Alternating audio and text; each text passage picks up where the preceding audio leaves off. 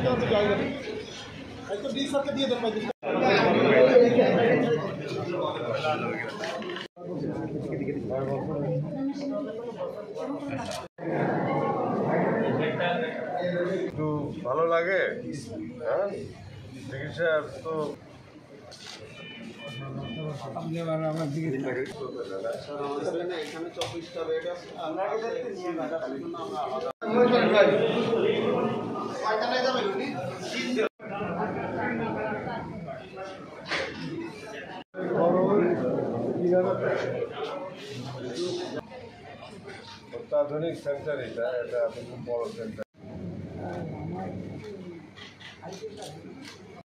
চিকিৎসাটা এখানে ভালোই হতো হাসপাতাল আমরা যে ঘুরে দেখলাম তাতে বেশ পরিষ্কার সরকারি হাসপাতালে লোক বেশি আসে। ভিজিটার দেন তার আত্মীয় স্বজন একজন রুগী আসলে আত্মীয় স্বজন পাচ্ছে না। যার ফলে সরকারি হাসপাতালে পরিষ্কার রাখা হয়েছে আমরা এই হাসপাতাল যথেষ্ট পরিষ্কার পরিচ্ছন্ন। এবং আমরা এখন আলোচনা করব যে হাসপাতাল আর এখানে ভালো করা আর কি প্রয়োজন আছে? কি যন্ত্রপাতি বা জনগণ এই বিষয়ে আমরা আজকে এখানে আলোচনা করে আমরা সিদ্ধান্ত।